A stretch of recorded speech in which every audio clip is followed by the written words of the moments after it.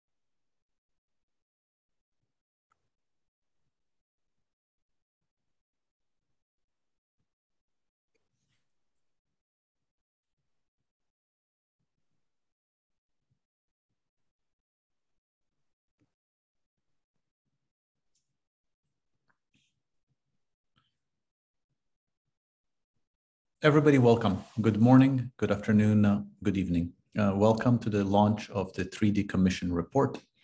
Uh, on behalf of the 3D Commission, um, welcome to this um, event. Um, my name is Sandro Galea. I have the privilege of serving as Dean of the Boston University School of Public Health in Boston, United States. But I'm here serving in my capacity as the chair of the Rockefeller Foundation Boston University, University Commission on Data, Determinants, and Decision Making. Today represents the launch of the Commission report, coincident with the 76th gathering of the UN General Assembly. And thank you everybody for joining us. We have a full program this morning, but uh, before uh, we get into the program, I would like to open it up for a few opening remarks. Our first opening remarks are um, um, coming from Dr. Tedros, who is the Director General of the World Health Organization. Um, Dr. Tedros uh, has a conflict right now, but he has kindly um, taped remarks for us. Dr. Tedros remarks.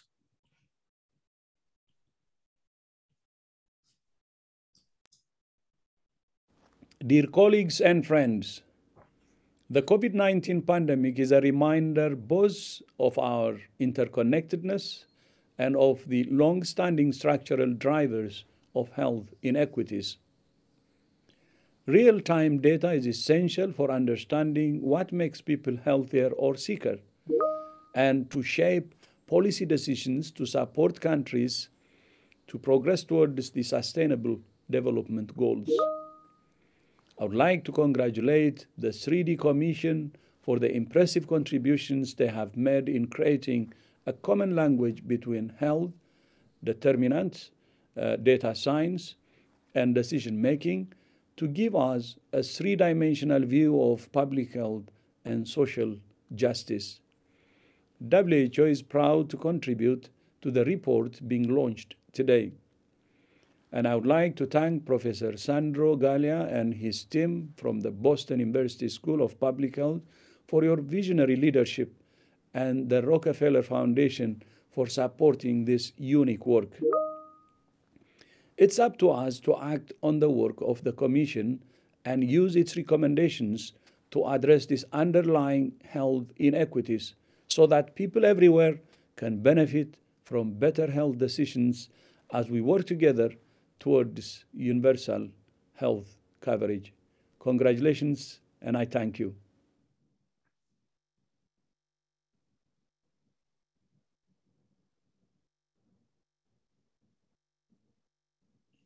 Thank you, Dr. Tedros, for those um, kind, welcoming remarks. I'm now going to turn it over to Dr. to Dr. Naveen Rao. Dr. Rao is the Senior Vice President of the Health Initiative at the Rockefeller Foundation and really the intellectual architect of this work. Dr. Rao. You're on mute, Naveen.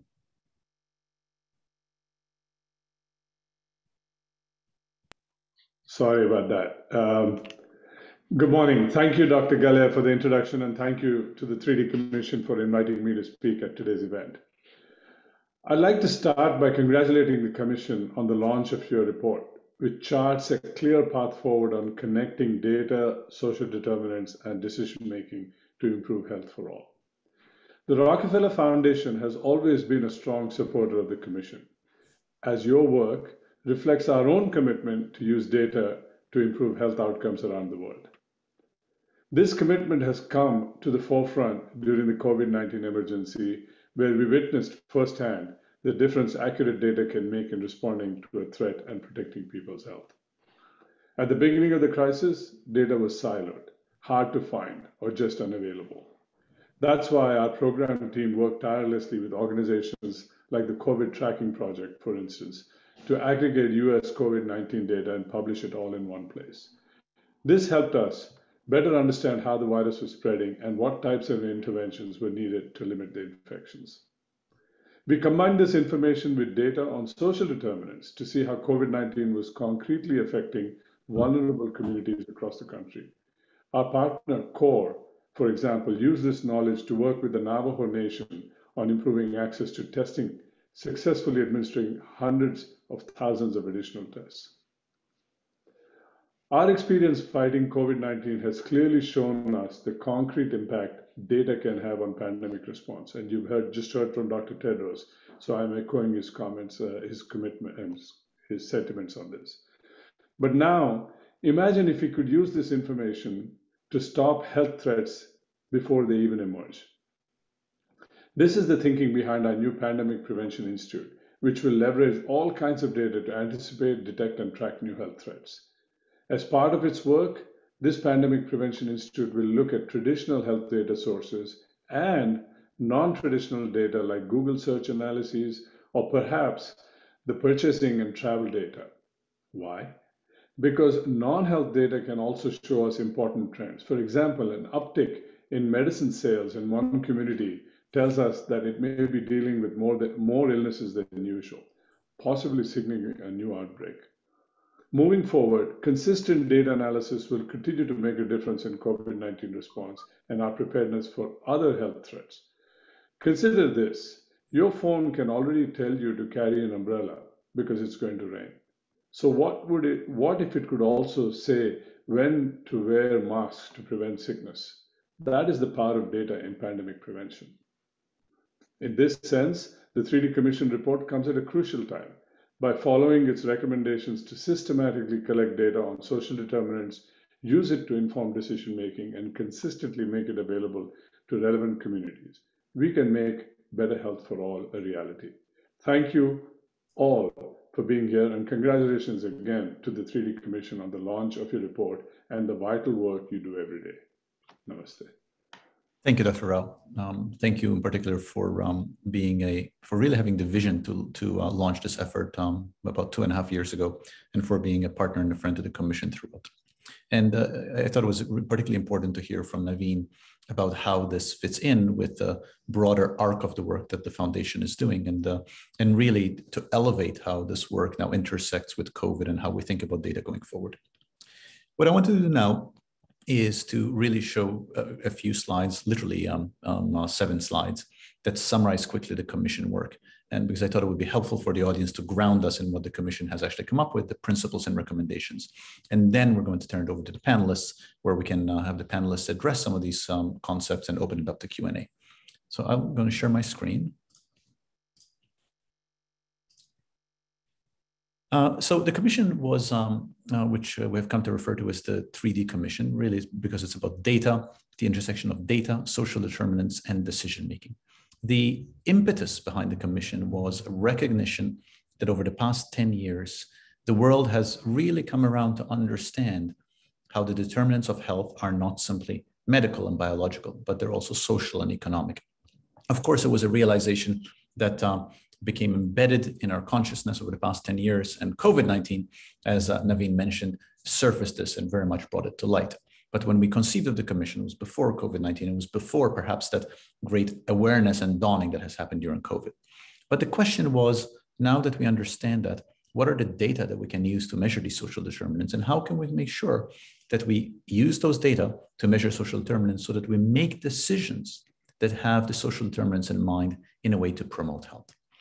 In thinking through this question and thinking through where the literature was and where our global understanding of social determinants was, we decided that the way to one way to address this would be to put together a high level commission.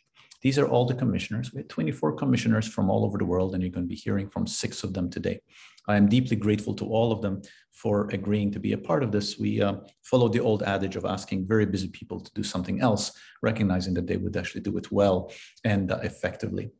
And the commissioners worked together over the past two years to come up both with the report uh, that I'm summarizing today, but also with a body of scholarship that has now been emerging and has been published to try to build up our en- encouragement to all of us to think about how we can use better data to characterize social determinants. I would encourage anybody in the audience to take a look at the Commission's website, which you can just Google by 3dcommission.health, where you will see a number of the other articles published in the peer-reviewed literature. I think there are about 25 articles that have emerged over the past couple of years that really started to build the body of evidence around this and to encourage us all to, to do better work to think about data informing the social determinants.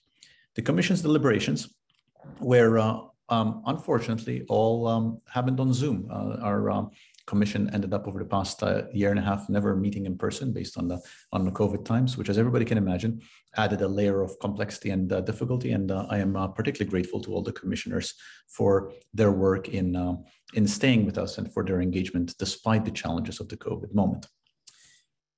Just one very simple slide of background is that although I can say in the same breath that um, the world has come to realize the importance of social determinants. This is from a survey that we commissioned in six countries by the Commission. When we ask people all over the world, so what do you think most drives your health? Healthcare remains the dominant answer. 25% of people said healthcare was the thing that drives health more. Interestingly, education came in second, and everything else sort of grumbles along in about the 10%. So even in a time where we're beginning to recognize that social and economic determinants matter and are importantly formative for health, most of us still think that healthcare is what matters most for health, even as, and from an expert space, healthcare is generally thought to be 10, 20% of health, while social and economic forces matter for about the other 80%. The uh, thinking and building on um, a large body of scholarship over the past quarter century, particularly anchored by the 2008 um, report from the World Health Organization that was chaired by Sir Michael Marmot, really the thinking has been that there are a full range of forces from politics to governance to features of neighborhoods and communities to social positions, social networks, assets, and wealth that we all have, all of which influence our behavior and intersects, yes, with our physiology and genetics to produce individual and population health outcomes over the life course. And this model here, I think, is fair to say a fairly standard model now of how we think about social determinants of health. The opportunity presented by this model is that it's an opportunity to recognize the full range of forces that shape health. The challenge embedded in this model is how does one actually systematically go about assessing the key elements of these inputs and how does then go one go about taking that assessment and practically translating it into action for health. And uh, this is another figure from the report, which really tries to capture some of this. On the left is how we see the current decision-making process, is that there are multiple competing priorities there are social determinants, all of that sort of enters into a, a competitive funnel until some decision making happens that leans on whatever politically emerges um, to the fore at the moment. A more desirable decision making for health would be one that actually takes into account the full set of factors as a web of interlinked factors, and that where that informs all decision making at local, national, regional, um, and global levels, where we recognize that decisions made on transportation, decisions made on housing, decisions made on financing, fundamentally all have implications for health. If I may just ground it in the COVID moment for a second, because Dr. Rao introduced the COVID moment, we saw very much in the COVID moment how it was decisions about essential work, it was decisions about transportation, it was decisions about housing and eviction. Those were the decisions that fundamentally influenced whether or not people developed COVID, whether or not they got severe COVID, whether or not people died from COVID. So the COVID moment really represented an encapsulation of a lot of these ideas. And what the commission was trying to do is to say, can we take decision-making processes for health, inform them with better data around social determinants to create better decision-making for health? A number of things emerged in our conversation, and I just want to highlight just one element um, uh, from the report before I talk about the principles and recommendations. And um, it was uh, the, the need for thinking about trust in data, a need for thinking not just about technology that can transform our understanding, not just thinking about different types of data and how we translate the data, but how there needs to be a real focus on trust in data to result in data for health equity. And this is from one of the boxes that is in the report. And this we thought was particularly important I think the commission would have thought this were this was important, would have emerged from the commission's deliberations, no matter what. But with the commission's deliberations happening against the backdrop of COVID, it became even more important to recognize that collecting data to inform our understanding of social determinants to the end of making better decisions ultimately would end up being fruitless without population trust in those data, population trust in decision makers' intentions to promote health. And talk about a concrete example of that as we hear about, uh, as we see the vaccine rollout in particular countries and all over the world. So the Commission report really culminates in a set of principles and a set of recommendations. Obviously, in the space of uh, in, in this kind of format, I'm not going to go into all of them in detail, but I did want to show um, show them to this group, and uh, all of this is now available on our website. But there are six principles that um, emerge from the Commission deliberations, and briefly, mean, they're all represented here, but I'm just going to label each of them briefly. Um, the first principle is that if we are to make decisions that really improve health, we need to move beyond health healthcare and incorporate data on all the social determinants. The second principle is decisions about investments in any sector, going again from housing to transportation, all need to keep health in mind. That does not mean that health is the only end, but it means that health needs to be borne in mind. In uh, many countries around the world right now, there are, for example, decisions being made about things like eviction moratoria, keep people in their homes in a time of economic recession. Well, that has health implications. The third principle is that decision making that affects health needs to also uh, is inseparable from decisions about equity. That our goal is not simply to improve health overall, but also to improve health equity, to narrow health gaps. The fourth principle is that we should be willing to embrace all available data resources to inform decision making about health. And this, the Commission thought was a particularly important principle because often when we talk about data, we get into this mindset that says, well, when we talk about data, do we mean, well, we might mean only survey data, or perhaps we might mean only big data that comes from social media. No, we should be thinking about all data resources, starting from community-based, community-gathered um, data, community-generated data, all the way to data that comes from the big data sources that come from our transactions over the web today. The fifth principle is that we need better, more transparent, and more accountable governance. And data could go some ways towards that, where if data that's collected are available in such a way as to surface the determinants and the health outcomes, and if we can use data to create a transparency, it can actually create more accountability and more transparent governance that will help us all. And the sixth principle is that evidence informed decision making needs to be participatory and inclusive of multiple perspectives.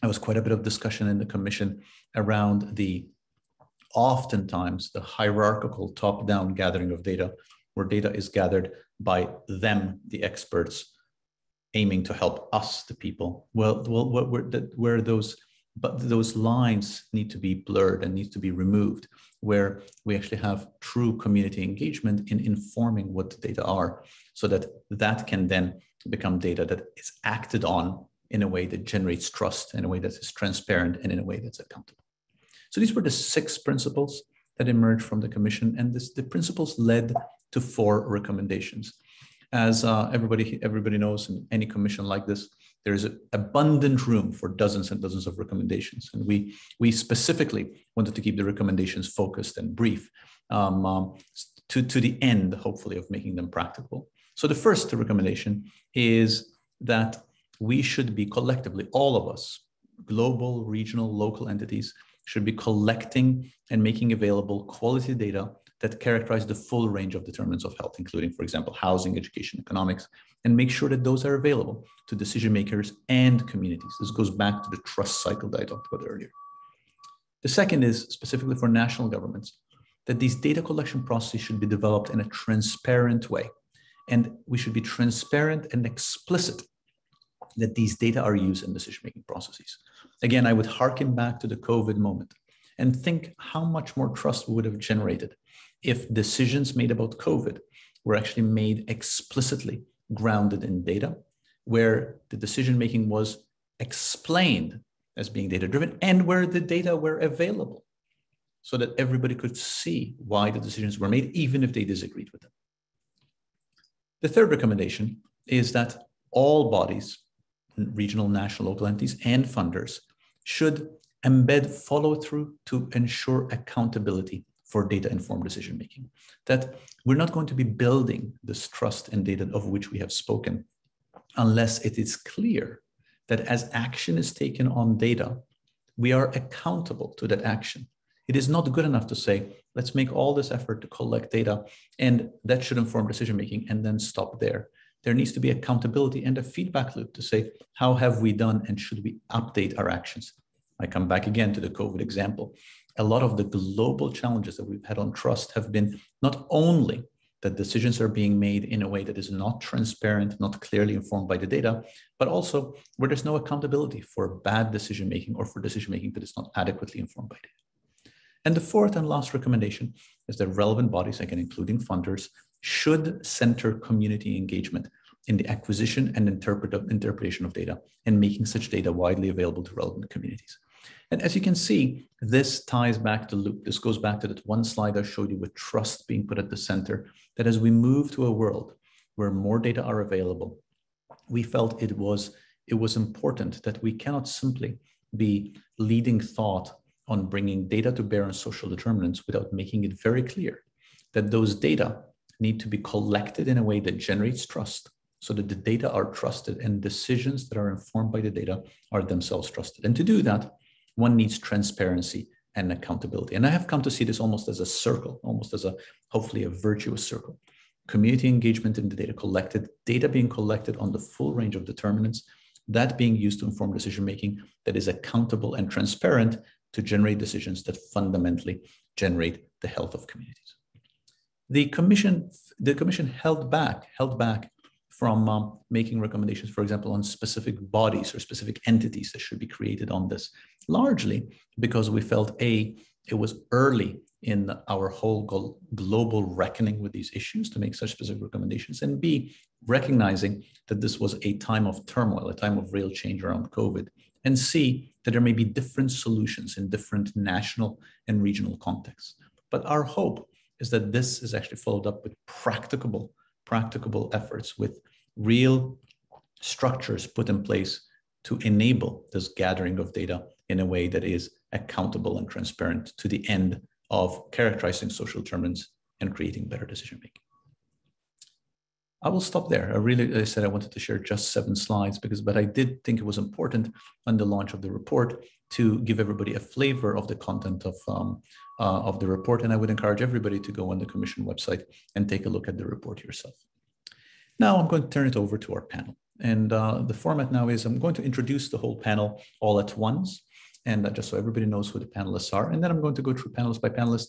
And I'm going to ask each of the panelists to reflect from their lens, from their perspective on um, elements of the commission report. Once the panelists have reflected, I will direct some um, Q&A and the audience will have the opportunity to ask questions. And we'd encourage you to ask questions through the Q&A function in Zoom. So we're very fortunate to have six panelists. We're six members of the commission. And the commission, as following the pattern of the data determinants decision making, also was divided into three subgroups, one on data, one on determinants, and one on decision making. And each subgroup had two chairs. And the six panelists are the chairs of each of the three subgroups. So the co-chairs of the data subgroups were Drs. Heidi Larson and Dr. Rhee. Dr. Larson is a professor of anthropology, risk and decision science, and director of the Vaccine Confidence Project at the London School of Hygiene and Tropical Medicine. Dr. Rhee, Dr. Rhee is a senior vice president of CVS Health and chief medical officer of Aetna CVS Health. On the determinant subgroup, it was chaired by Dr. Mberu and Dr. Magaña. Dr. Blessing Mberu is head of urbanization and well-being, African Population Health Research Center. And Dr. Magaña is the president and CEO of the Association of Schools and Programs of Public Health. And the decision-making working group was co-chaired by Dr. Jeffrey Sturchio, who was at the time the chairman of Rabin Martin, and Dr. Nana Twum Danso, who was the senior vice president of Global for the Institute for Healthcare Improvement. If I may just say at the beginning, it has been a true privilege to work with all six of these commissioners, as it has been with the rest of the commission. Uh, but these six commissioners have done a lot of work, in particular, leading their work groups towards both producing some of the peer review papers that I've mentioned earlier, as well as to generating the relevant parts in the commission report. So with that introduction, I'm now going to turn it over to each commission in turn, and I'm going to start, start with Dr. Larson. Heidi, microphone's yours. Thanks, um, Sandro. It's been a real honor to be part of this commission and, and great to hear the diversity across the, the different partners. I, I know you were um, interested in an example um, from the Vaccine Confidence Project that kind of puts in a tangible sense uh, some of some of the principles and, and things we've come across and, and recommended in the report. And one is the importance of the multiplicity of, of data. Um, and I think that uh, Naveen has already talked about the, the importance of looking at alternative sources like the update and medicine data, things, asking different kinds of questions, going to different sources. Um, and I think that uh, in, the, in the case of vaccines, uh, we typically look at vaccine uptake, uh, but when we're trying to look at confidence, which is trying to go a bit upstream to try to anticipate willingness to, to take a vaccine, we need to ask different questions. So we do that through a mix of surveys, um, and that's we try to get representativeness, the importance too of repeating it over time. But at the same time, we want to look at health data records. We want to look at vaccination records. But then we also want the real time issues, the social media data, the, the search factors that were referred to earlier, and how that gives us a different uh, insight and helps us explain maybe why there are ups and downs in some of these different uh, data points. Um, I'll give you an example. We've been monitoring closely confidence around the COVID vaccine in different settings, particularly in Africa, uh, but, but globally. And in Nigeria, we saw a dramatic drop from uh, last June 2020. 49% uh, of a representative sample were saying definitely uh, strongly agree uh, vaccines are safe, the COVID vaccines will be safe. Um, in March 2021, we saw a dramatic decline to 25%. And then you start listening to social media and you see day by day it reflected changing sentiments, new reports in Europe about an adverse event. And so you see how quickly these dynamics can change and impact. Uh, that's just a quick example. I know we're supposed to only have a few minutes here each, but just to give some tangible examples about how these different real time background data, slow data, fast data, um, uh, make a difference in, in, getting us a more comprehensive understanding. Thank you, Heidi. Thank you, Dr. Larson. Um, uh, Dr. Rhee, and um, talk about your roles and your intersection with data and making that available. And, and, thank you for having me and just thank you for the work of the commission and your leadership, Sandro. Um, from, from my perspective, throughout my career, from a primary care physician to a public health professional, and the role I believe that uh, the private sector has in public health right now, um, I've come to this recognition that data is not neutral, and and there's uh, such an important need to align the right determinants um, with the data. And so it really is about transforming or translating that data into insights and making sure it goes into the right part of a decision maker's workflow at the right time to make the right decision. Um, and ideally, that decision should be about health equity and health justice. So as I reflect um, in, in terms of where we are today and the role that CVS Health and Aetna has played during this pandemic, I think about the four curves of COVID. We've all acquired a literacy about a, a data set about understanding how the curves of COVID related to cases, hospitalizations, and deaths is something we as a country and as a as a as a globe need to address. And so as you think about the, the curve that we often focus on, the infectious disease curve, I'm proud of how we've leveraged data, determinants, and decisions to help support more than 30 million COVID vaccines in this country, in the US. Um, I'm also proud of the fact that we've helped provide 70% of all the uh, COVID 19 retail testing. Uh, when you look at the issues that we started during this pandemic around long term care facilities, 40,000 sites, we delivered that and reduced the rate of deaths by 94% and rate of cases by 97%. Once again, leveraging data, determinants, and decisions. And as I reflect on the other curves of COVID that we're now discovering, that were always there to begin with, but that we need to flatten, chronic disease, if you think about the fact that we're looking at the data, many people are delaying necessary care. They're not getting their medications, they're not getting their cancer screenings. It's so important that we recognize that that is a curve we need to continue to address and flatten. Mental illness is another curve. Um, we've discovered in our data that unfortunately there's been an increase in suicides.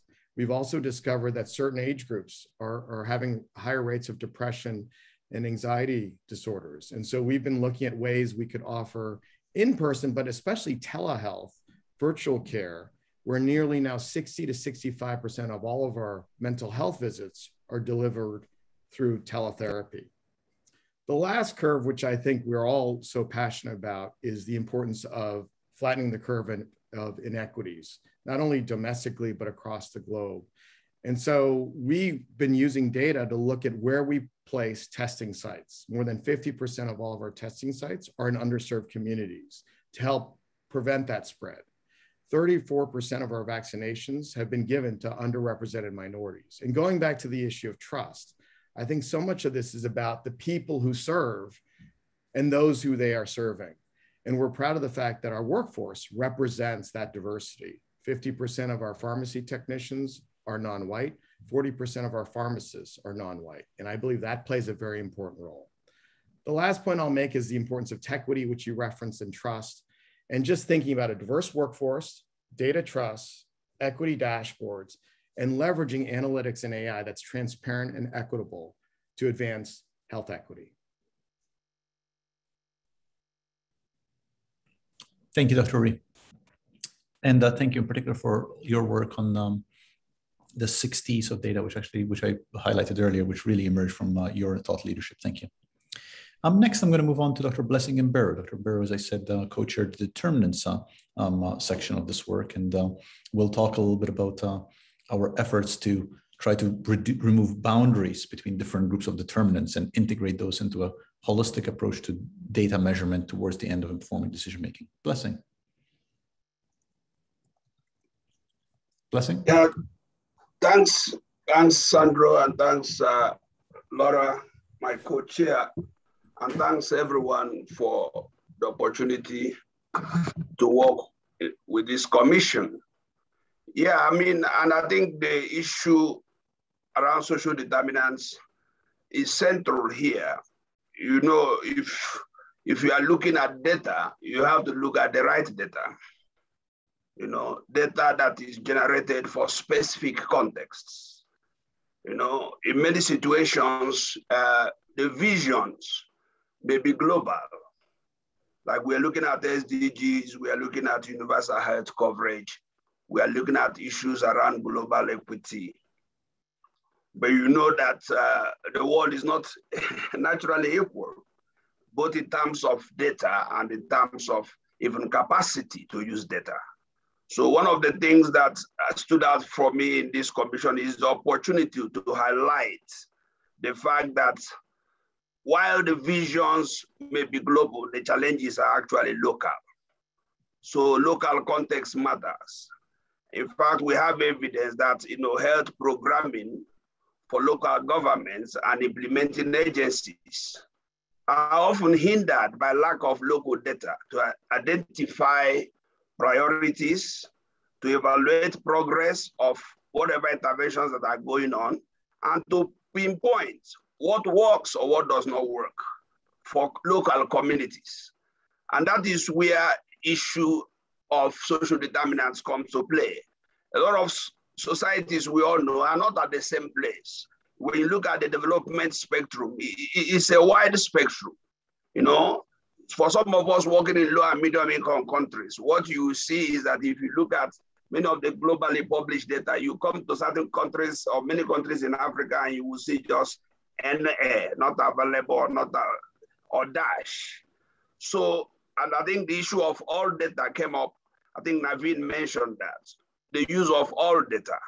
And that is where we think that it is important to highlight the fact that big data is good, but if you don't have it, there are other local variations. And that is where you need to, we talk about investment at local, very local levels, like where we are, you know, to be able to generate data that is specifically relevant on different social determinants for different groups.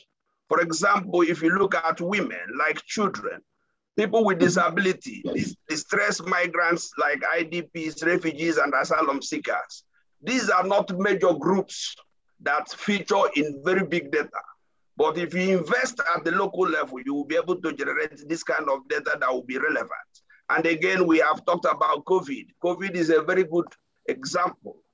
We lack so much data around COVID that even the responses looked very draconian. I mean, people live in informal settlements, they don't really have real homes. So they can't really isolate there. The houses are very hot in the day and very cold at night. That's why they want, and most of them are informal workers that live on daily wages. So while we want to prevent COVID infection and spread, most of them had a, an emergency threat of hunger if they are not working because they need to, you know, generate income on a daily basis. So in essence, low investment in local data collection and analysis is what we have emphasized in this commission looking at social determinants to furnish robust evidence that can inform both policy and action. And one of the things I want to say, Sandro, and to this group is capacity building at the local level to enhance these activities need to be also part of the priorities. And I'm happy Navid is here a lot of institutions in the global south have capacity to fill this data gap. But of course, you know the funding challenges. So I want to stop there, but it's a pleasure working with this group. Thank you, Sandro, for your leadership that helps us to emphasize some of these issues. Thank you very much. Thank you, Blessing. Next, we move on to uh, Dr. Magaña, who will um, talk a little bit about um, how she sees this intersection of data social determinants in her role, particularly overseeing the academic public health enterprise.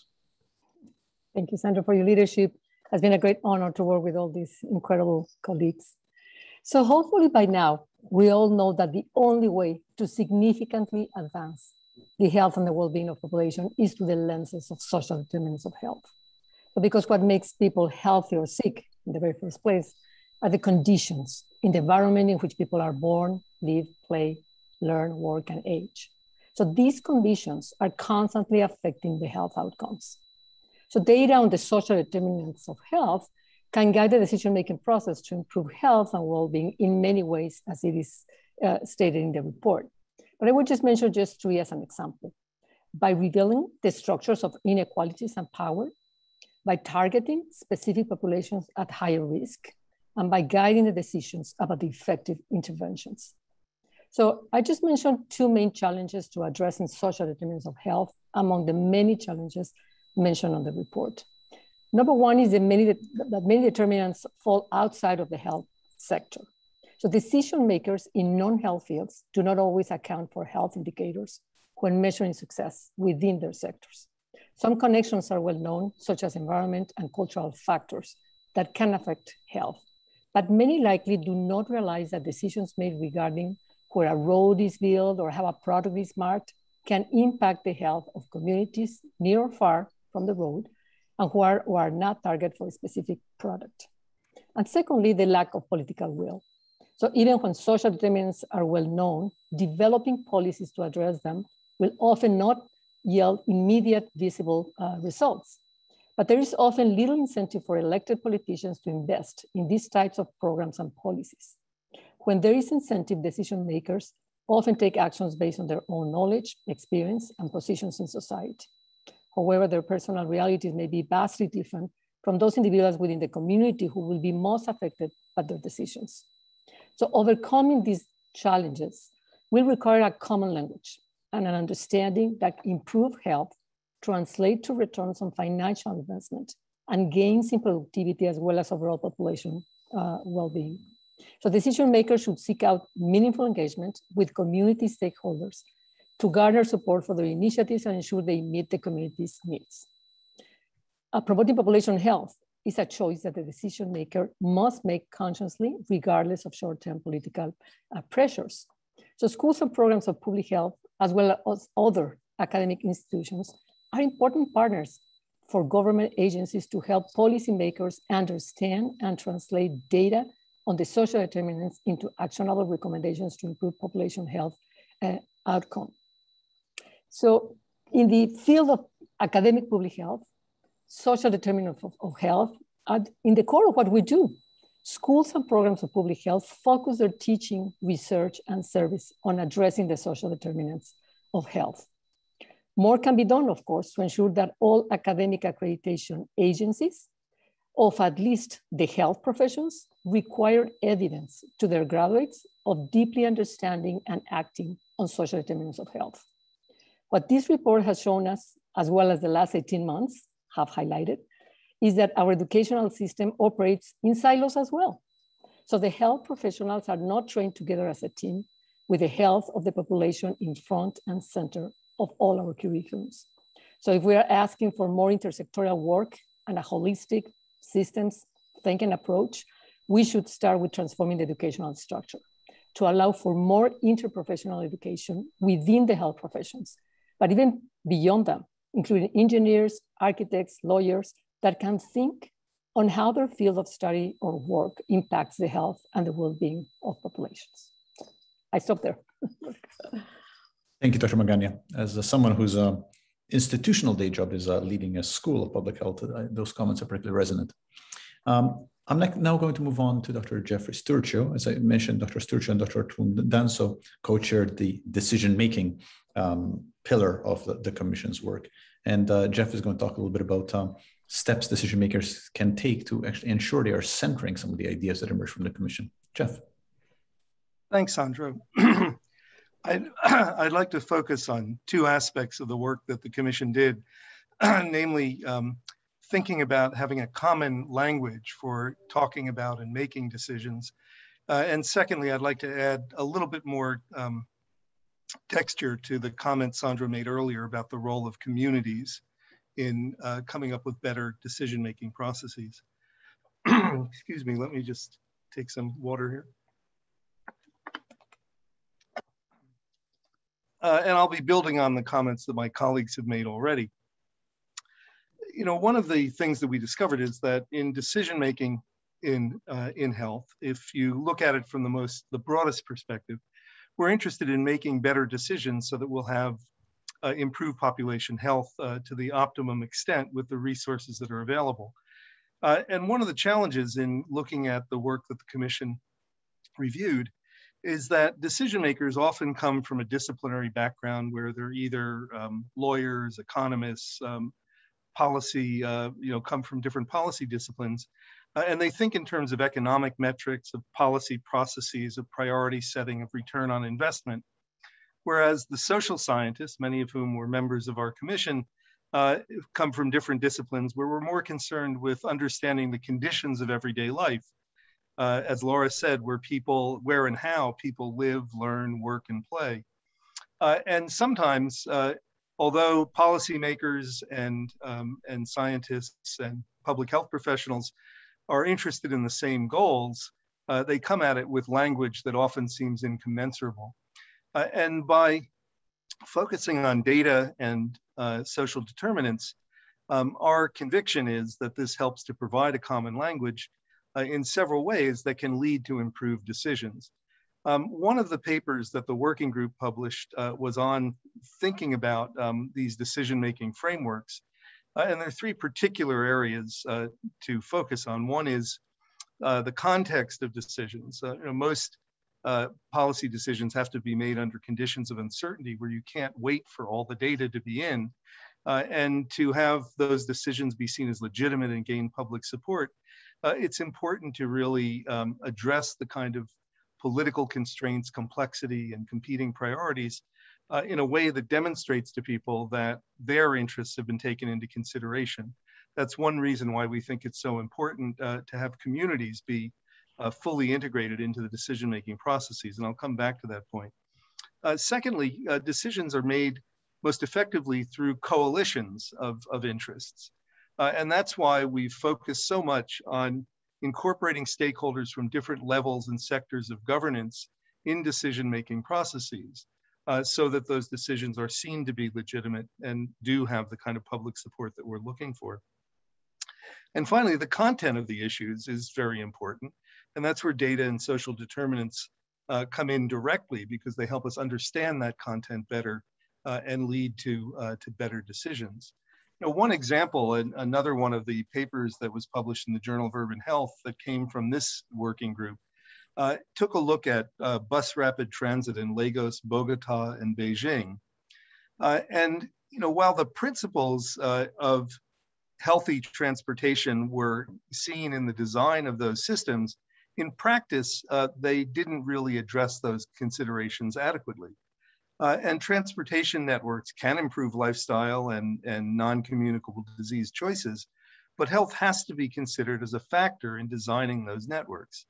Whereas if you have safe, affordable, and effective forms of transport, what we found was that this can encourage walking and cycling, reduce traffic congestion, reduce air pollution, uh, promote social inclusion, all of which will lead to better health outcomes. Uh, and the collaborative frameworks that can come from a health and all policy approach, uh, taking data and decision making, uh, excuse me, uh, determinants into account, can lead to better decision making and better health outcomes. And then finally, on communities, I just wanted to reiterate the point uh, that we feel that integrating and reflecting on the insights from the lived experiences of those people directly affected by social determinants and the decisions that policymakers are taking about uh, health outcomes will lead to more dynamic policy options uh, and to choices that actually are going to lead to better population health. And that collaborating with community makers when collecting and interpreting data is also vital to improving population health because it fosters trust between communities and decision makers. Um, and that I just want to underscore as my final point that several of my colleagues have already made uh, an allusion to the importance of trust uh, in working on decision making in, in healthcare. Uh, and by incorporating communities into the processes by which those decisions get made, by using data from the community, by uh, incorporating an understanding of social determinants as lived by those communities, uh, that helps people to make much more robust decisions uh, that reflect the contexts of, uh, of how those decisions are going to be implemented. Uh, and that will lead ultimately to improve population health, which is the goal that the commission had as its, uh, its North Star through all the work that we that we did. Thank you. Thank you, Jeff. Thank you, Dr. Sturchio. And now to Dr. Twum Danso. And um, Nana's going to talk a little bit about how one can actually integrate every sector and decision-making processes, and in particular, how to grapple with the multiple competing issues that decision makers have to take into account, and particularly more so as we challenge them to broaden their lens to social determinants. Dr. Twum Danso. Yeah, thank you, Sandro. Um, so I've been thinking about this question quite a bit over the past two years of working uh, on this commission. And I think a lot of it starts from political prioritization. You know, the, the competing priorities that decision makers have to make are so many that we have to start with prioritization because that focuses attention and is in many ways forces decision making to happen in a timely manner. I think the other component is civil society's action, like civil civil society's action in wanting decisions to be made about a particular issue can accelerate the pace of decision making using all sorts of data. Thirdly, we have to think about the economic um, feasibility. Is there fiscal space to make that decision and fund the budget that will actually uh, impact population health. And I think those three are really important before we can even get to the, the data that influences that. One of the areas that I found very encouraging in the past uh, year and a half of the COVID pandemic is the availability of data and the timeliness of data in parts of the world where we never thought it would be possible. You know, the, the work I do in quality improvement in health and healthcare we love to see data on in real time, however you define real time, whether it's daily or weekly or monthly. And in many parts of the world, especially in low resource settings, availability, availability of data is really difficult, especially real time. And then the completeness, the accuracy, and the timeliness. But we've seen in COVID that even in the most resource constrained settings, we are able to see daily or at least every other day updates of the COVID pandemic, number of cases, number of deaths, and where the deaths are happening so that decision makers can, can guide resources accordingly. In addition, poll surveys, which you know in the past, a large scale population surveys would take a year to collect or months to collect the data, a year or more to do the analysis and make them available. We're thinking about you know DHS survey data, etc. But with the pandemic, with political prioritization, with um, decision makers' attention and funding available, we are able to see pulse survey data happening and results available within a month. And then, you know, three months later, another pulse survey happening uh, across populations on health and social conditions, housing, food insecurity, etc. So I think in, in many ways, the pandemic has shown us what is possible. It is possible with the right amount of political prioritization, activism from civil society and the media. Media attention is very good for focusing attention on um, on what matters to people. Um, community activism is really key. And then we have to find the economic space to, to make this happen. So my, my takeaway from this commission is that the potential is there. We, the health and public health care and public health people need to find ways to help decision makers prioritize the the interventions that will have impact on all of health, especially social determinants of health. So we all know, for example, and let's think, let's take malaria for an example. We can continue with a pharmaceutical approach to malaria where we treat people who are sick or we do uh, prophylactic treatment. But again, it's pharmaceutical, prophylactic treatment daily or whatever for pregnant women or for infants. It's pharmaceutical. It's not addressing the root causes how do we get political prioritization around root causes for malaria control? How do we deal with the sanitation uh, challenges in communities where you know there's stagnant water all the time? How do we deal with housing with poor uh, windows and doors that allow the mosquitoes to get in at night? Those are really structural um, political issues that governments have to take on. And the easy solution is the pharmaceutical one, uh, partly because you know the, the donor availability, the, there's a biomedical model that we have all gravitated, we, a lot of us have gravitated towards over the years. And when you go with a biomedical model, a pharmaceutical solution seems appropriate. But if you come from a population health social determinants perspective and think long term about the people who live in the conditions and work in those conditions, then we have to think more about the root causes and we think about sanitation, water, housing, etc. So I think I want to I want to stay optimistic that the, I know it's hard because a lot of this costs huge amounts of money, but money can be found. We've seen billions, trillions of dollars go towards COVID. And so we know the money is there if, if people prioritize? How do we get people to prioritize in a more fundamental social determinants way rather than keep going along the biomedical model that so many people have been going down for decades? So on that note, let me start. That's wonderful. Thank you. I, I actually uh, have been particularly struggling with this question of now that we know the money's there, um, how does that change our perspective? It's, uh, it's been on my mind very much in the time of COVID. Um, thank you everybody for your comments. And uh, I'll invite the audience to put questions in the Q&A, which I'll get to in a second. But I had a couple of questions which I wanted to uh, pose to the panel, which really just to surface some of the other key themes from the report that did not emerge from the panelists' brief remarks. So let me start with um, the diversity of perspectives. And um, maybe Nana, since you have the microphone, I suppose, in a, in a virtual world, I can start by asking you, can you talk a little bit about the key steps that you think are important to make sure that a diversity of perspectives are taken into account in decision making? Yeah, yeah, it's a great question. I'm sure many of you have heard that phrase, nothing for us without us.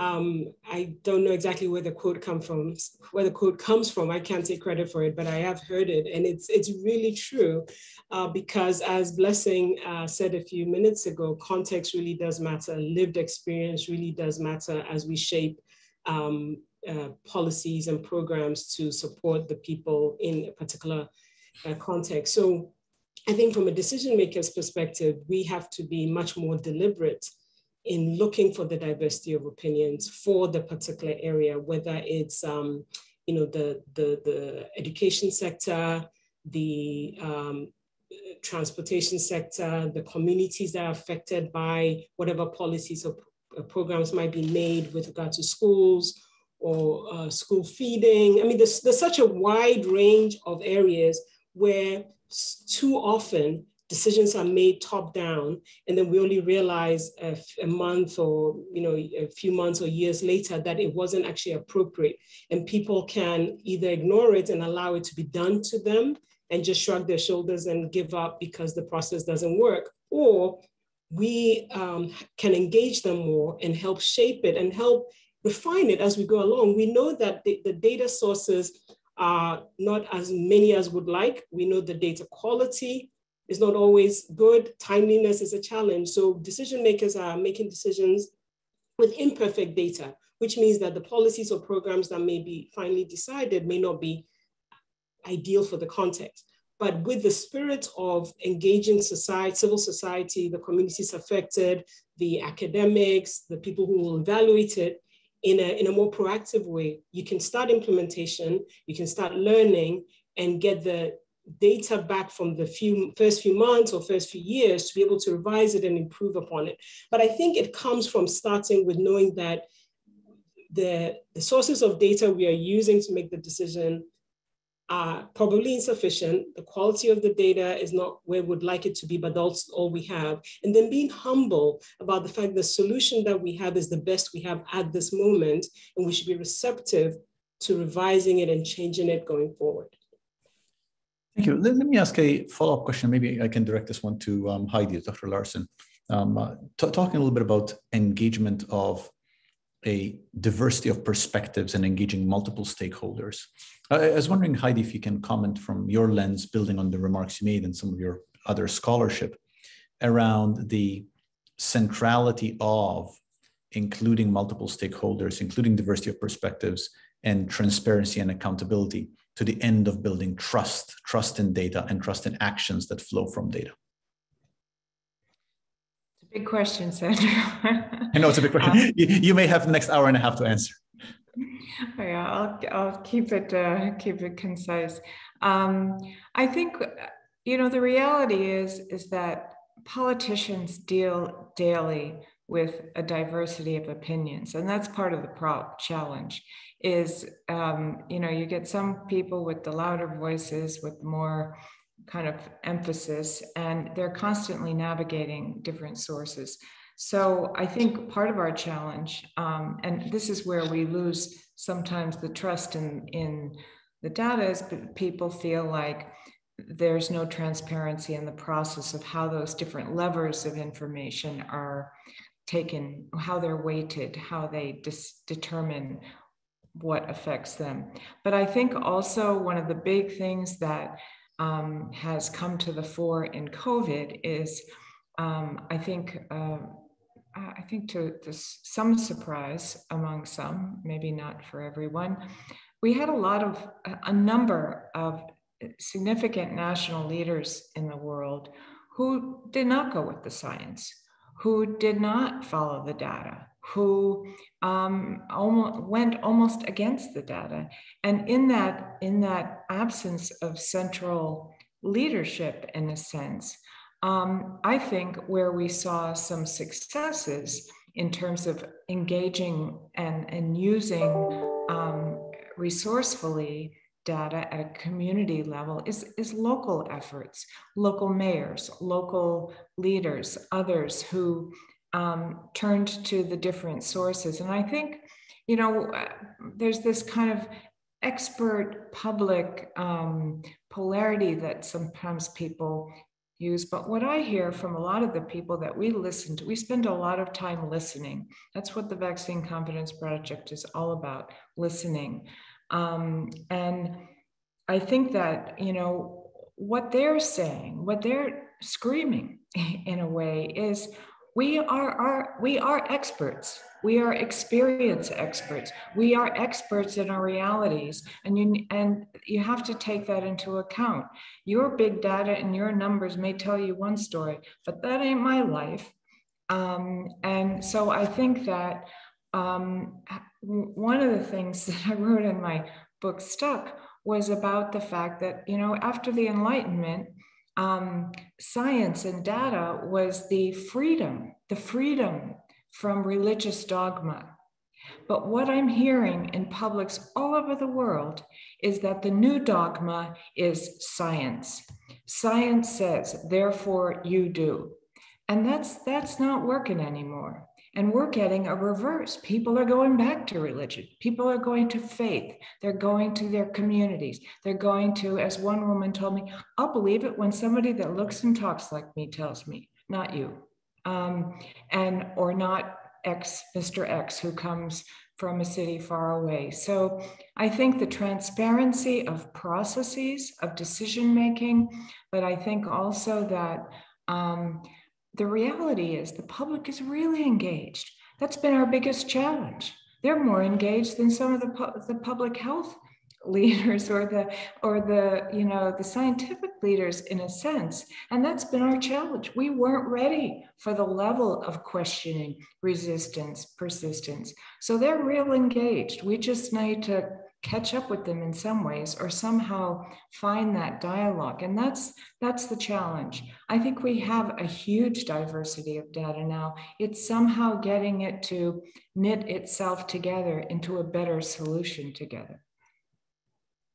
Thank you. That, I, am going to resist asking a follow up about science and the nature of science. Science become the new religion. It's a separate conversation, but I think it's such an interesting topic. Thank you. Um, uh, let me um, ask a different question. Maybe a blessing. I can direct this one to you, and uh, because I want to, I want to um, center uh, health equity, and uh, we we spend a lot of time discussing this in the commission, and I think the commissioners were fairly of one mind around this. That um, when we talk about health, we don't simply mean aggregate health. We actually mean we mean narrowing health gaps. And I was wondering, uh, Dr. Mberu, from your perspective, about how do we go about elevating health equity as a national and global concern? And in particular, I've lately been doing more and more thinking and reading and writing around this global health equity and sort of the, how far we are from any form of um, aspirational ideal around the, re, the re, genuine notion of global health equity. So I'm just wondering from your perspective about how do we get there? How do we get to a place where health equity is a real active concern rather than simply an aspired ideal? Blessing, I think you're on mute. Well, again, thanks, thanks for that.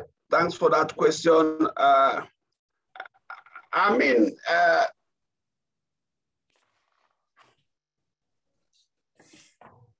I'm not mute. Uh, are you no, hearing no, me now? Yeah, you're back. You, you froze for a second, but you're okay now. Okay, thank you. Yeah, so I think that is where we are. I mean, if you if you look at the SDG, for instance, uh, you will see that, I mean, equity is underlying. I mean, one of the outcomes there, or one of the expectations there is what everyone is talking about, which is universal health coverage. But you also know, and I think this commission has emphasized that. You see, if you don't measure it, it becomes difficult to talk about that even in policy, talk less of in prioritizing. And I think I alluded to that earlier. And what has happened is that if you look at availability of data, I, I was in the UK once, and I mean, they have data on who bought beer from an, a tavern, who bought it from a supermarket, I mean, they have so much data. And I said, look, you guys are doing bourgeois science here because you, you have all you need to be able to talk about the challenges at the local level. And that is what we have been lacking in low and medium income countries. So I think it, you are right. And I've made that point also earlier that these visions are global, whether it's SDG, whether it's universal health coverage. But there are a lot of people that are naturally marginalized. And when you talk about the difference between the North and the South, that is obvious. But what about in the South itself? I work in urban Africa, and if you look at a city like Nairobi, 60% of the city are urban slums. But even when you look at slums, they are not homogeneous. They are so heterogeneous. There are places you have uh, multi-generational families. There are places you have just young people who have just arrived who are working in industrial area. And so the needs are different. The things that should be prioritized are different. The structure, the structure of the population is different. So in essence, I mean, I go back to context. Uh, it's not religion now, but it is actually the fact that if you don't, if you don't have equity in evidence that informs policy, then that policy will definitely be skewed in terms of where data is. And we know where the data gaps are. We know where understanding of social determinants are. And uh, we, we alluded to that a lot in this, our report and this discussion. I can take countries at different levels, different spots rather in the development spectrum. Okay, and that's why we have low and medium income countries. I mean, we the designations keep evolving. Okay, but if you look at, for instance, I'm a demographer by training. There are countries that have high fertility rates up to two to three percent growth rates per annum. And but there are countries that are at replacement fertility, which is 0%. There are also countries that are actually having negative growth and they are declining. So if you look at that broader vision, okay, most of the time when you hear about fertility uh, population dynamics, you keep hearing about countries that have high fertility, but there are also countries that have the, uh, negative, the, negative growth. So and those, those uh, trajectories of population change has implications for the age structure of the population and therefore the kind of health challenges across the life course. So in essence, therefore, uh, if we are going to then have health equity, we need to have this spectrum of data and spectrum of analysis and understanding so that we can then feed all of those into policy making, into decision making. And that is for me, one of the ways we can begin to think about addressing equity. You can't address it in a vacuum. You need to know what you're addressing. Then if you come around the global south, or you even come go into the slums, there are specific groups that are so marginalized. Nobody talks about them in real in big data. People who are uh, who are with disability, people who uh, distress migrants like refugees, urban refugees. So there are those elements groups of subgroups that are marginalized that we need to begin to use data to highlight their situation. And I think that's what we have achieved, if you ask me, at African Population and Health Research Center in the last 20 years. We have highlighted so much the enable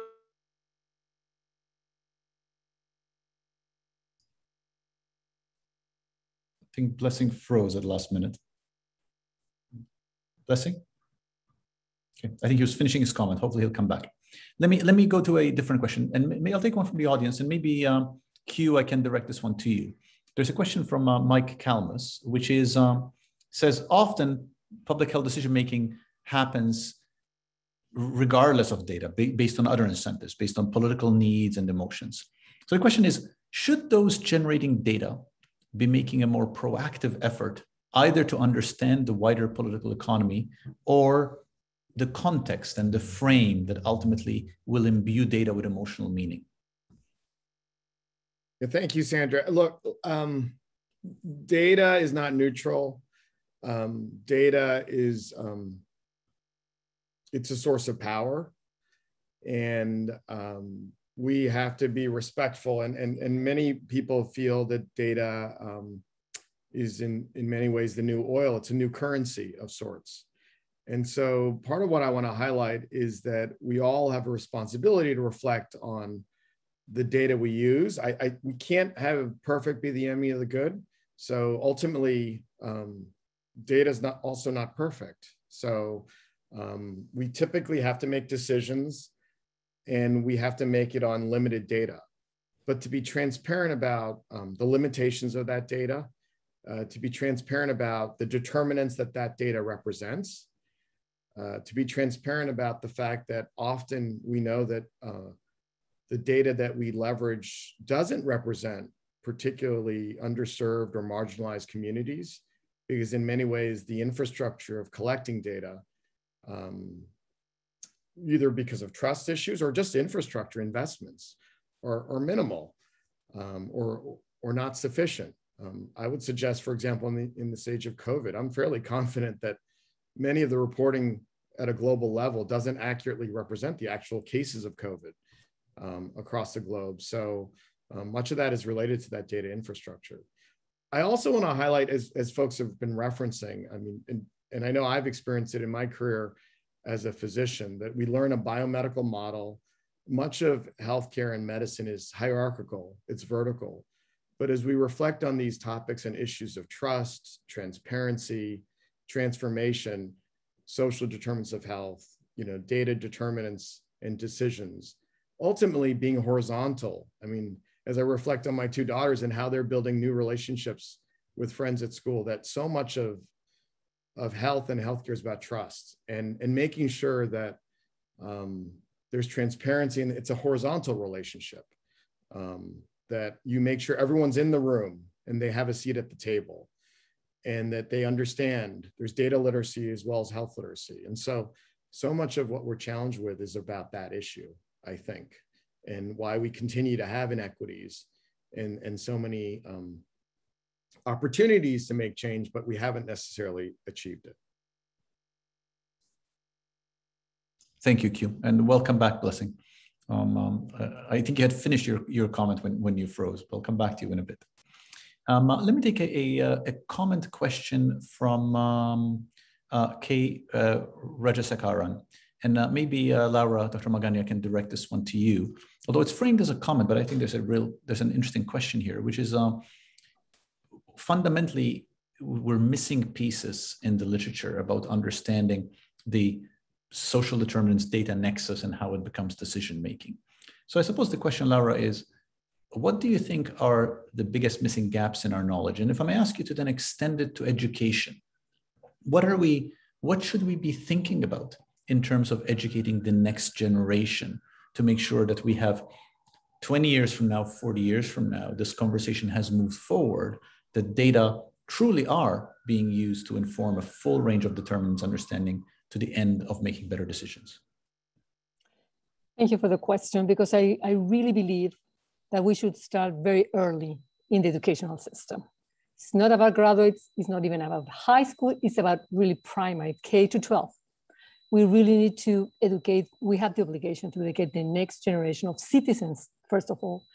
And we can imagine a new world if, if in the content of public health, like public health 101, should be taught from K to, to 12 in the very first place. If we all are citizens educated about how to take care of, of us and our, our environment and the planet, that should be integrated into our DNA from the first day that, that we are in the school. I think there's a lot to be done in the educational system in order to really have immersed, integrated the basic knowledge of, uh, of, of, health and well, well-being in all the you know, educational system. And of course, then further on in high school, community colleges, undergraduate and the graduate, we should insist in how to be in advance in all these topics. And there's, there's a lot of gaps. I think that number one is because social determinants of health is not as a core fundamental knowledge, at least in the health professions, and of course beyond the health professions. You know, I've been, I am a lot of times uh, involved in conversations with my colleagues in, in, in, the, in the health professions.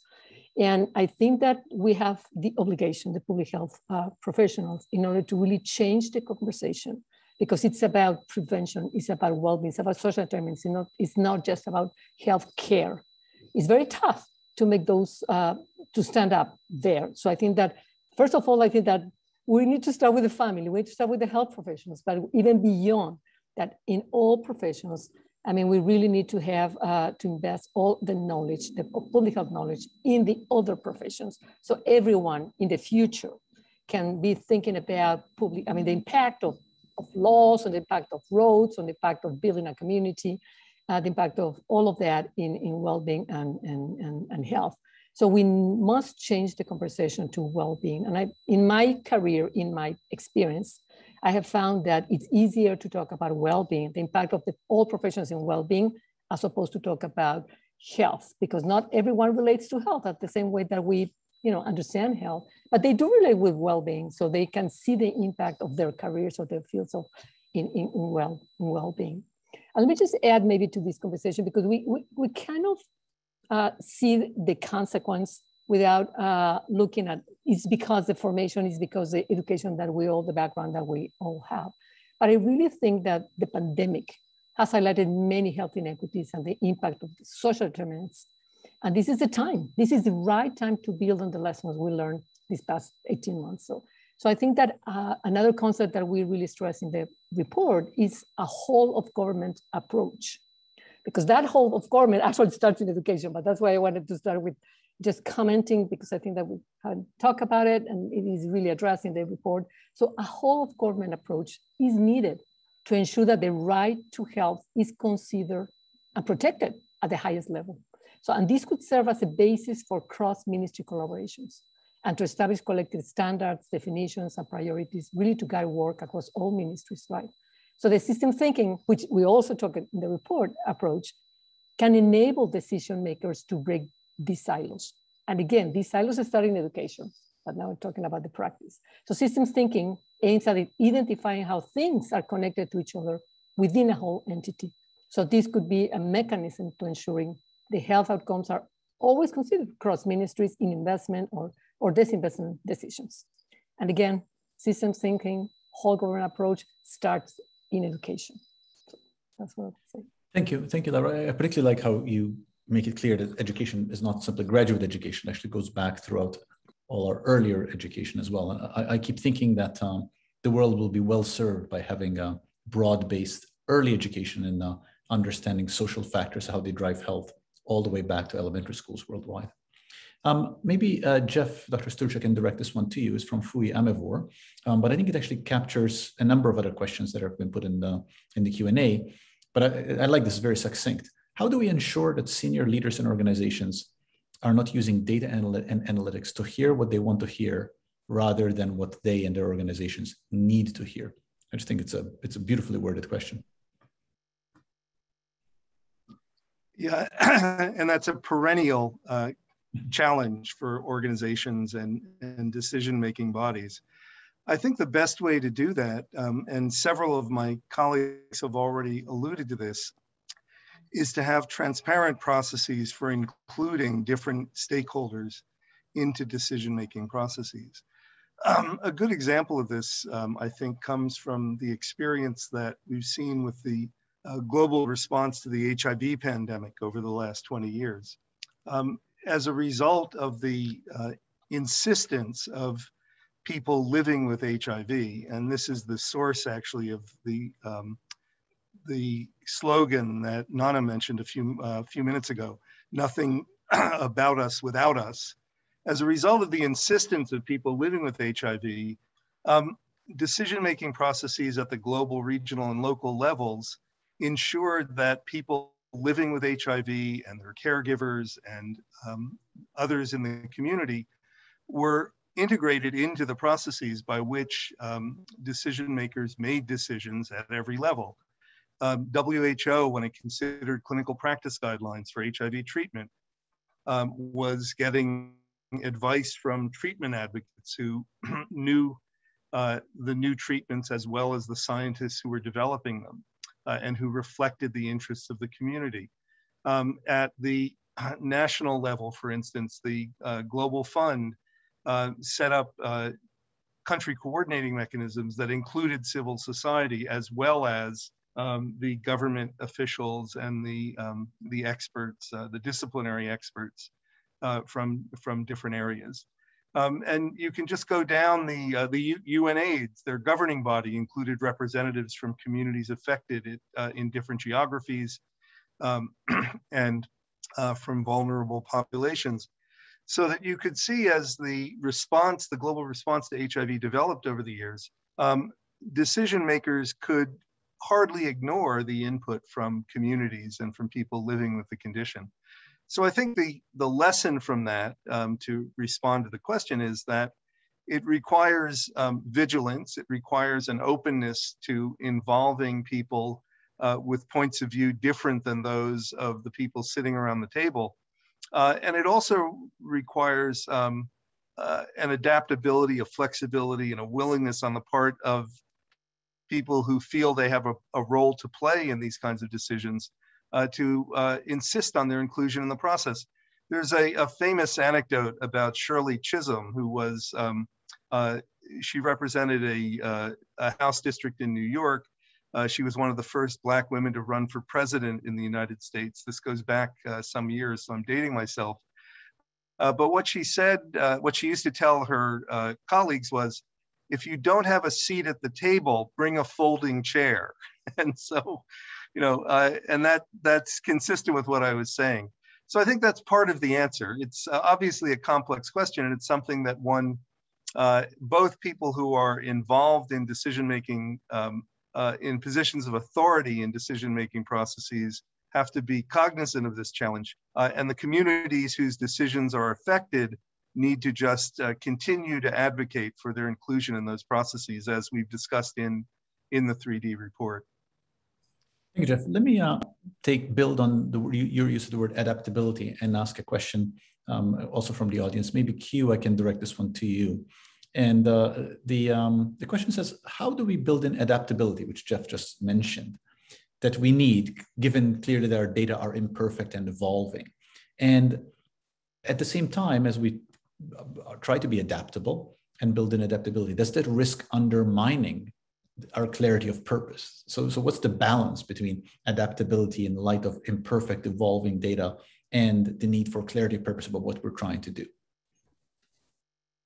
so I, I, look. I think in terms of um, the this pandemic challenging us to move from what we traditionally have talked about value based care to values based care, and and and uh, thinking about healthcare and the health system. So to me, um, we shouldn't let perfect be the enemy of the good. We have to leverage data. We have to recognize data as power. And we also have to recognize that data is not perfect, but decisions need to be made um, to allocate resources and to address you know, any crisis or any acute or, or prevent a crisis from happening as some folks have referenced.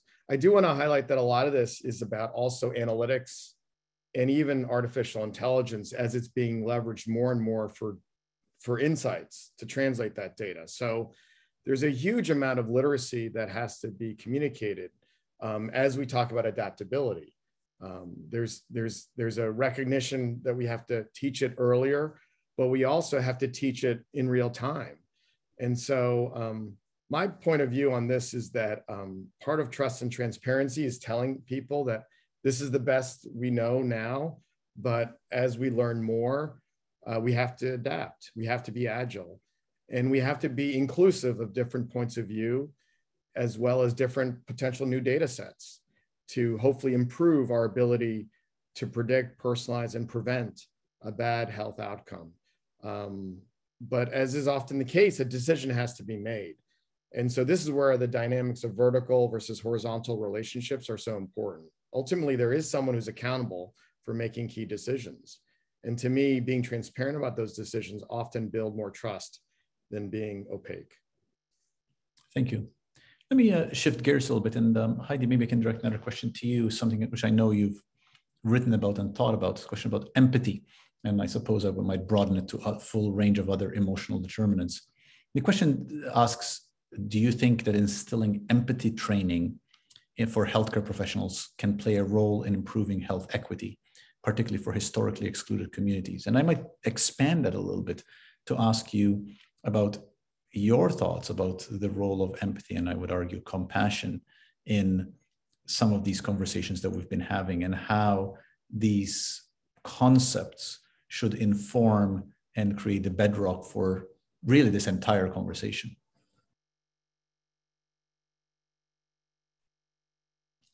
I think you're on mute, Heidi. Thanks. Um, I think empathy is absolutely fundamental. We are in hyper polarized times. And the only way we're going to start to be able to have conversations from the extremes is to have a little empathy. Um, and that's at every level. I think every single one of us, from community members up to heads of state, um, has to stop for a minute and think about where they can have a bit more empathy. COVID has rocked the world. Everybody has had, uh, at some point, a bad time. Um, you know, some may be coping differently than others, better, worse. Um, but I think we have a huge opportunity in saying, not did you get your vaccine, or did you do this, or you should do this, but how are you feeling? Um, to make people feel like you care about more than your piece of data or your particular intervention. So I think empathy comes up in a lot of ways, but I think publics need a bit more empathy too. Um, I think they're pretty hard sometimes, and especially in the context of ever changing data. Um, I think, you know, heads of state are in a tough, tough corner. It's not just about the science, it's about economics, it's about a lot of other things. It's about schools, it's about education, it's about keeping their countries, you know, alive in different ways. So I think we need to have a little empathy there. It's much easier to judge. Um, but at the same level, at a community level, I think that you started with the question of healthcare workers. Absolutely. I think we, uh, healthcare professionals need to have a bit of empathy with people's questions.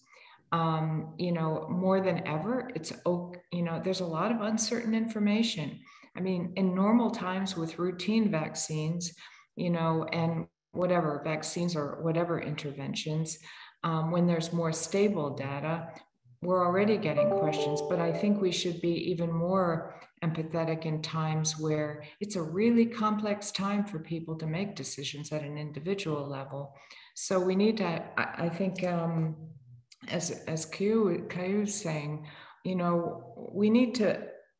This is the best we know, and we need to put it out that way and say we're doing the best. I think we also, though, um, there needs to be a bit of empathy with healthcare workers because right now there's a lot of burnout there's a lot of people are are going through a lot so i think we just need it around around the table it uh, Sandro, can I add a little bit the educational perspective? That's a please do. Yes, that, please do.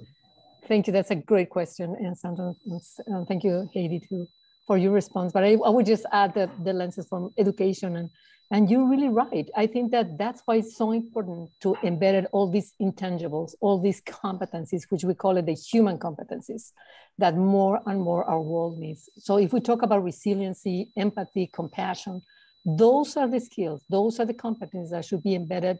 As the sooner the, the better. I mean, not in graduate, but again, you know, uh, a lot earlier in educational. But at least if we are in the higher education and we can really uh, embedded all these human competencies in our curriculum. All of these competencies should be and could be developed, and I, think our world needs a little bit of all of all of that. So I'm, I'm really uh, you know excited for the future because I think that if we really uh, revision our curriculums and we do more of the human competencies, you know, our world will be we're going to be more prepared and our world will be better.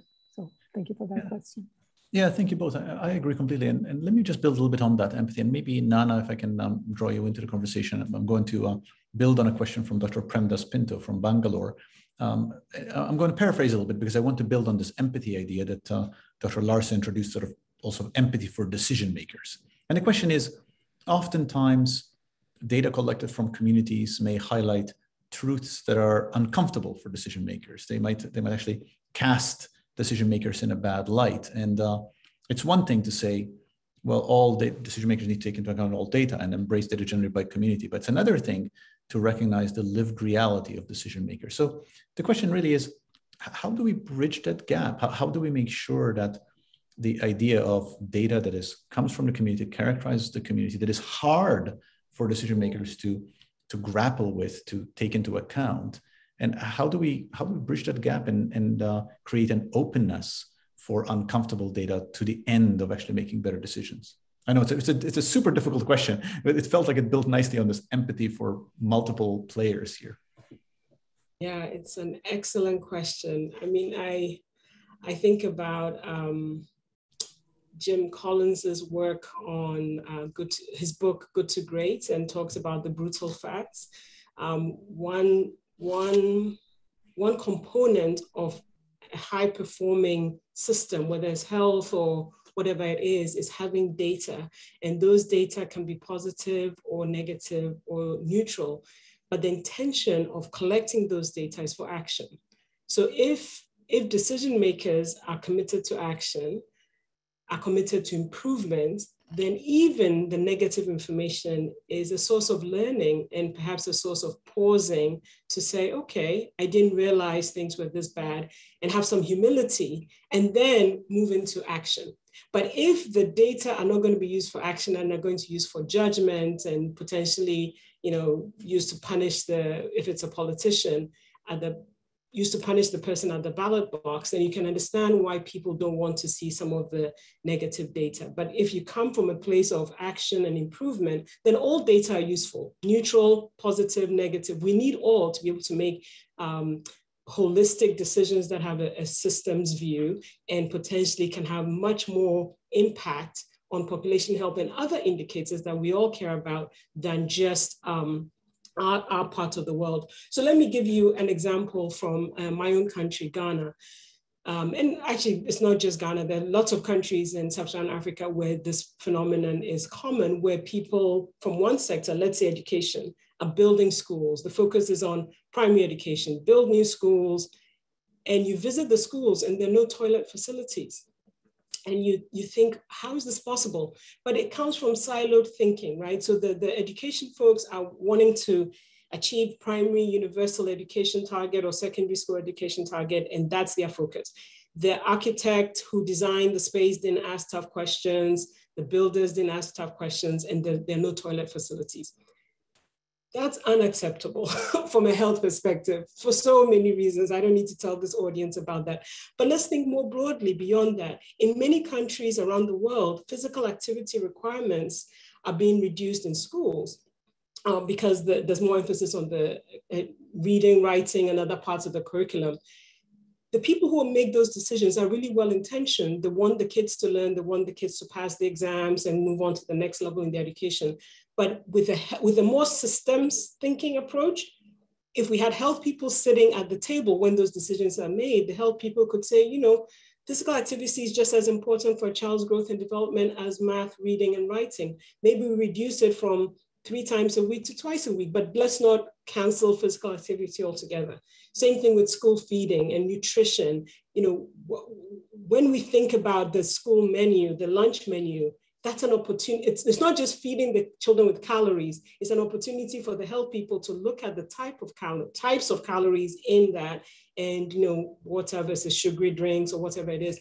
So I think I think we need to um, we need to create that uh, culture of data for action. We need to bring more people at the table so that multiple lenses can look at the data multiple lenses can be there for decision making. And then let me end, uh, Sandro, from the empathy perspective by saying that I think we health people um, tend to get a bit self-righteous because we think health is the holy grail. Without health, there's no life. Without life, there's death, et cetera, et cetera. And I think that's true.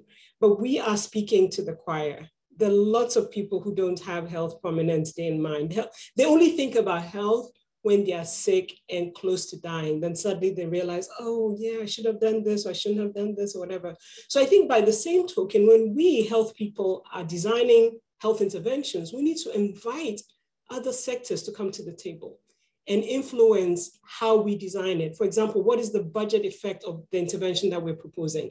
Let the economists come and do the analysis and tell us, well, actually, if you do it this way, you could probably save a little bit more money here and there. And there's some compromises to be made. You know, let, let the engineers tell us about uh, transportation. The civil engineers can tell us about what the trade-offs are if we do bridges or roads in this way versus that way. So we also need to come off our pedestal, I think, invite other sectors in when we're designing and really do a give and take. let's the more mutually beneficial we can be in different sectors, the more likely we get invited when other interventions are being designed that um, we want health, we want health in all policies, but I think we should, we health people should also invite other sectors to come when we are designing health interventions. It, the, the mutuality can only be beneficial, allows transparency, allows better quality data or more types of data to be available when decisions are being made.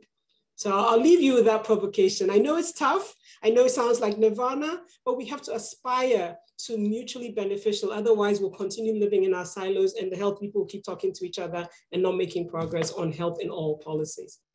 There are uh, so many things I love about that answer. I could go on and on, but let me just highlight two things. Number one is uh, the the surfacing the point that um, health is a means, not an end. Something which I've written about, which um, we all, is often lost, particularly when you have these kind of conversations and uh, you attract people who are interested in health, and uh, we forget that health is is is an aspect towards living a full, rich, flourishing life, and uh, not the end in and of itself. I, I think we cannot surface that enough. So I just want to label that. But then, if I may hone in on the heart of your answer, which was that ultimately one needs to create a, a culture of data for action, a culture of data informed decision making. And the reason I want, I want to surface that, if I may, is because when one does a report like this, when one engages in a two year effort like the one we just engaged in, there's often a question that says, well, why are you doing that? And uh, what immediate action emerges from a report like this? And I'm, I'm very resistant to that question because I, I, do not think that there is necessarily immediate action. What I actually think we're doing is we are creating a culture. We are contributing towards creating a culture, to changing the conversation so that actions are then taking that build on that foundation. One of my favorite um, uh, quotes, which I, I'll paraphrase, is that our job is to generate ideas that are that change how we think so that when the moment is right we can then take action on them now that quote was actually said by somebody who is an enemy of many in the left and in health namely milton friedman who was one of the fathers of neoliberal thinking in the united states and uh, i use that quote both because i like the irony that's coming from milton friedman but actually because I think he was right. And that's what he did, right? He generated a lot of ideas, which then the United States captured the whole movement, arguably not necessarily for the good for health. But, but I actually think that we all can learn from that. Our job is to generate ideas to change the culture so that good can happen. So thank you for surfacing that. I really think that's super important. Um, let me ask um, another question and blessing. Maybe I can draw you back in as um, you're connected. It's a it's another tough question. This one's from uh, Dr. Manoj Kumar, and um, uh, Dr. Kumar surfaces something which we haven't discussed, which is that when it comes to decision making around health, particularly in low, uh, he says in, doctor, in low middle income countries, but I would argue all over the world, there is an uneven playing field often between the private sector and the public sector. In that, he's referring to India, where the private sector is particularly powerful and commands resources that the public sector does not. So as a result, we can say all we want about data for decision making around social determinants, but one sector holds a lot more power than another sector. And that other sector, meaning the public sector, of course, is the sector that typically serves marginalized and vulnerable communities. So the question is, how do we bring balance to that? How do we, how do we reckon with these basic power imbalances? And how do we make sure that decision making is informed by the needs as as, as the data give, bears witness to, to the end of improving health for all, not simply those with access to private sector resources. Yeah, thanks, Sandro. I think that's uh, that's a very good question, but it's also very interesting because, uh, particularly in the low and medium income countries, the income gap opportunity gap, even service gaps have become very wide and it's getting wider. And uh, you know, it's not only in health, even in education. I mean, private school versus public schools. And you see public officials, I'm from Nigeria originally, most of their kids are in Europe and North America, not even in private, don't even talk about private universities within the country that are totally out of the reach of the, general public. But I think uh, we, we have emphasized this issue that part of the challenge is that the marginalized are actually unseen. Eh, their, their, their statistics are missing. So one of the things we have emphasized is this issue of spectrum, looking at all the ends, all the points within the, the line, so that if you now highlight what is not there, and I think Nana spoke to that when you asked the question around uh, around data which public officials don't want to see. Okay, the whole essence is to emphasize what is not, what is neglected. I mean, you, we, we are talking about COVID and so on. Somebody was telling me yesterday about neglected tropical diseases. They are still there, but they're neglected. But until somebody invests in evidence generation to highlight these things, then like I said initially, if you don't if you are not able to measure it, then it becomes even difficult to articulate it in policy, talk less about uh, articulating it in implementation. However, I think it's important to go back to the decision-making sub, sub uh, working group and the things they have already said. It is obvious that those who control uh, political power, I mean, they control the destiny of the nation. They have monopoly of instruments of coercive action. They make policies, they implement them, and they have control of the budget.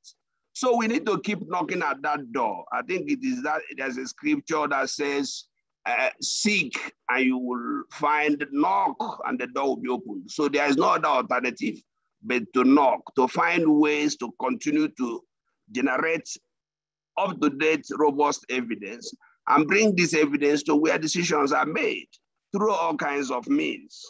And uh, just to, you know, tie that up, uh, sometimes it's also important. I was giving the example of population growth rates, where how it's different parts of the world, some are growing, some are zero growth, but some are declining. And those population trajectories has different implications for the age structure and therefore the health challenges. But let me even go to housing, which is where we focus in our report on social determinants. I mean, housing is relevant across different countries. In our report, we had Singapore, United Kingdom, and Kenya. Housing as a social determinant is real in these places, but the needs are different, okay? And I uh, had somebody, I, I can't remember who, trying to make a decision between equity and equality that when we talk about equity, it is actually meeting people at their points of need. So which also means that those in developed countries and those who are privileged classes may also have their own level of need. And if you look at housing, in many low and middle income countries, you are talking about basic provision, access to housing. You are talking about just basic quality of housing. But if you look at high income countries like Singapore, United Kingdom, you are talking about uh, greener houses, you are talking about energy efficiency, you are talking about how do you adapt to environmental changes in terms of new housing materials. So in essence, there is need for us to look at the entire spectrum and make sure we have evidence for everyone and then bring it to where decisions are made. I don't think there is an alternative. We can't carry placards on the road.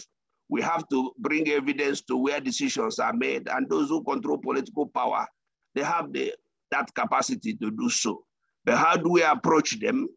Not only through supply of evidence, but how do we also make them to demand evidence? And I think that is where I want to end, where issue around co-creation of knowledge, ownership of the evidence, participatory approaches, you know, intersectoral and even transdisciplinary collaborations should then become part of the models we need to employ. It's like pulling all the arsenals in our armory.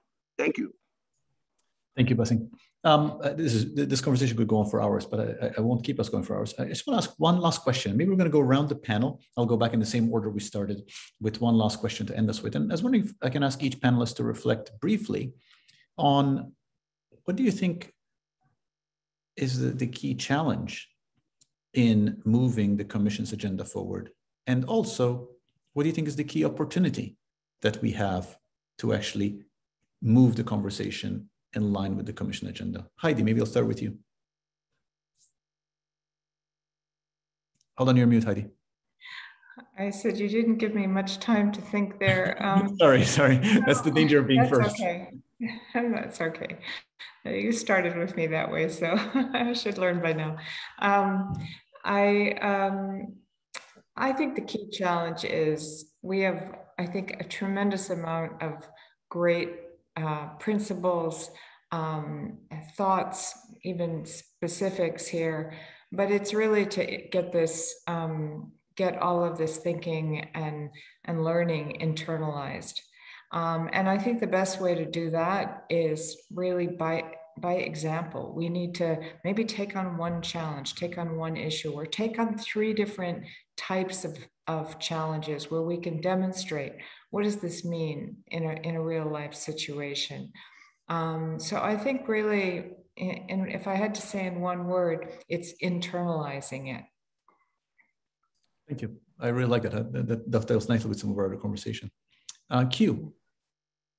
Yeah, I, would love this discussion and, and the questions. So as I'm reflecting, um, I do think um, of things that connect people together. We often talk about what divides us, um, the public sector, the private sector, um, power dynamics. Um, so as I was reflecting just most recently, I was thinking about the role that data has played throughout my career, moving from a, a physician who took care of one patient at a time to now thinking broader of one population at a time. And so there's a term that kind of resonated as we were talking about empathy, it's like teaching data empathy, realizing that so much of what we're talking about is, um, is of course, it's partly about the data, but it is about um, the stories and the statistics.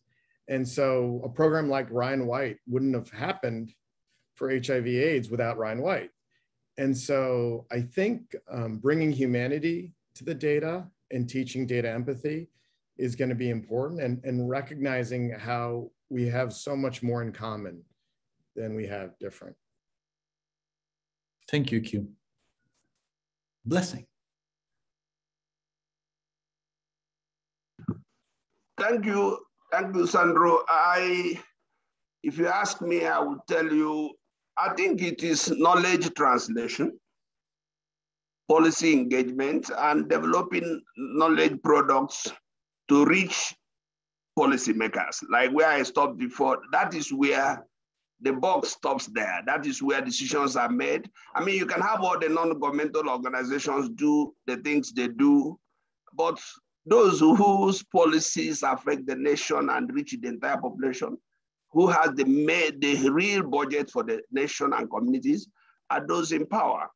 So how do we knowledge translation, if you ask me, like I said, policy engagement, knowledge products to reach groups like that, regional launchings, and uh, those things require a lot of funding. Sandro, and maybe I have this opportunity here because what we see is that funding circles, you know, there's always time frame. Okay, this program, this uh, commission's work is for two years. And within that two years, you can see the enormity of evidence that has been generated. But maybe we need another two years of consistent effort to now get this evidence in the where it can be digestible and to the hands that need them. And that requires another level of investment. So most of the time, and you already, we all agree that policy making is not uh, is not instant coffee it, it, there's a lot of processes that go there, and most of the time we are looking for outcomes. Uh, they don't just happen. It's not. There's no magic wand. So it requires some series of engagement, which is a totally different kind of uh, investment and interaction. So I think if you ask me, that is where the, the march should shift. It should shift on how do we move this, this great evidence into the hands of policymakers at international, national, and regional levels. So that's what I think. And I think we need a different kind of funding stream. We are in research here, and most of the time, in three, four years, the research grant ends. And if you want to sustain your institution, you have to move, chase for another research grant. And we've really seen very little effort or very little investment in, in knowledge translation, policy engagement, and communication. I think that is one critical area, if you ask me, we need to begin to think about in the next couple of years. Thank you. Thank you, Blessing. Laura. Yeah, thank you, Sandro. Well, I think that the, the, the, report came in the right time for the academic public health community, nationally and globally, because exactly right now is where we are really thinking about the future. We're thinking about framing the future 2030. What are the skills? What are the competencies? What are the knowledge? What are the, what are the gaps uh, of, the, of the workforce? So this is exactly the right moment. We're gonna just revisit the whole report in terms of what the suggestions are in terms of the topics. But the topics, yes, the knowledge, but also some of the human qualities that, that Heidi and, and, and you and, and the others were talking about that really our workforce needs in order to embed in the curriculum for the future. So in that for the academic public health uh, community globally, I think it's the right time to just discuss all the content of the of the report. So thank you, and I hope to see all of those concepts and linkages with our partners nationally and globally. Thank you, Laura. Um, uh, Jeff. Uh, thanks, thanks, Sandro. I'd like to um, use a metaphor to uh, to respond to the question you asked about challenges and opportunities, um, and uh, and it builds on what Blessing and Laura were just saying you know, we've talked, or I talked earlier in my uh, first intervention about finding a common language for policy change so that we could uh, do a better job of uh, taking the insights from data and determinants and turning them into better decisions in public health policy. And we also spoke about translation, both in terms of translating data into knowledge, of translating that knowledge into different uh, policy um, prescriptions. So if we just think about common language and translation for a moment as, as the metaphor, well, what you need are people who can live in two different cultures to be able to translate from one culture to the other. Uh, and so I think there are interesting opportunities. Um, uh, well, first of all, the challenge is that people tend to live in silos and work in silos, and that's something that we've talked about throughout this, um, this event. Uh, but the opportunity is to find ways to um, identify people who can translate between these different communities of practice uh, or different ways of working and looking at the world. Um, and there's a particular role for schools of public health there because um, if the curriculum begins to uh, emphasize both data and determinants uh, and the way in which those can lead to better decision making, then you can begin to generate graduates who have that um, uh, that uh, perspective um, sort of internalized, as Heidi suggested, uh, that that's been inculcated in them. And as they go out into the world and the various roles that they'll have, they'll think about decision making for health in a different way. And also, we can bring policymakers into the academy. So, uh, and I'm sure many of the schools in Laura's organization, and Sandro, you may do this at BU, but you know bring in policymakers for a year or two um, or find ways to engage students and faculty with real live policymakers uh, to really show people um, through uh, specific applications and engagement how these perspectives can lead to better policies. And i think over time uh, that will move in the direction that blessing was talking about where we need that kind of knowledge translation and policy engagement uh, and i think uh, actively um, taking advantage of those opportunities will move us toward the kinds of actions we would like to see. Over. Thank you, Jeff. Nana, you get the last word. Great, thank you.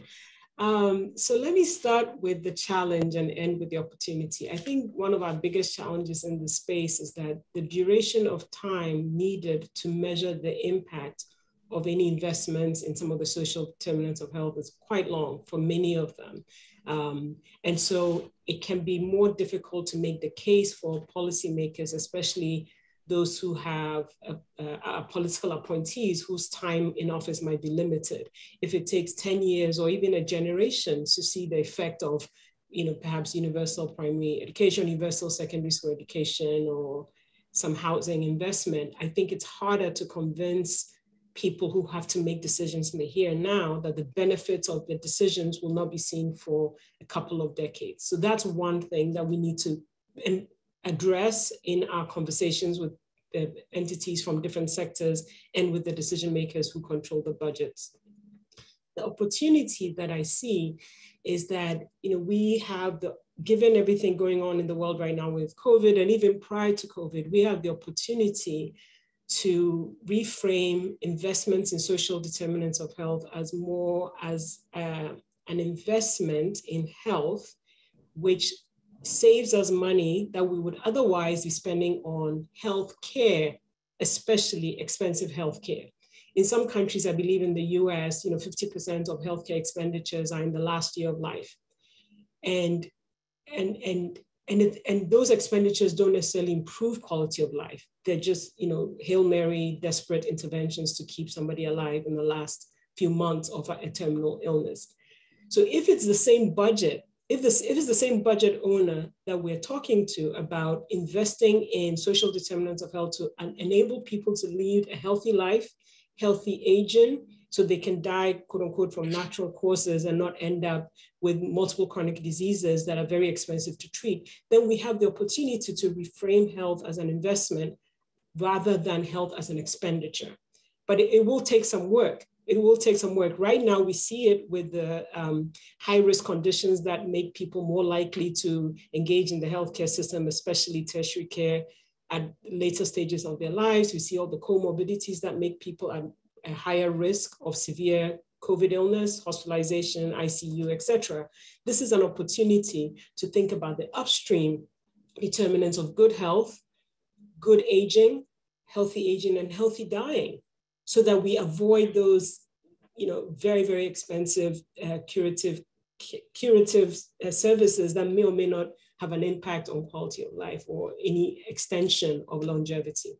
So let me leave you with that uh, opportunity, opportunity that I think we all have to embrace as we speak to others across multiple sectors. Well, I think um, opportunity is a wonderful place to end. Thank you, Nana. Uh, I um, want to extend my sincerest gratitude to all the panelists for a really interesting conversation and to the audiences who, do, who joined us at this uh, UNGA event. Uh, my only regrets that we're not there in person, but uh, we are all learning to um, a Zoom world, but I much also look forward to reconnecting in person uh, for events like this. I also would like to thank all the commissioners. This, uh, the audience has met six of the commissioners, but I want to thank all 24 commissioners as well as the um, as the secretariat um, at Rabin Martin and the uh, core team at Boston University who really made the work of the commission possible.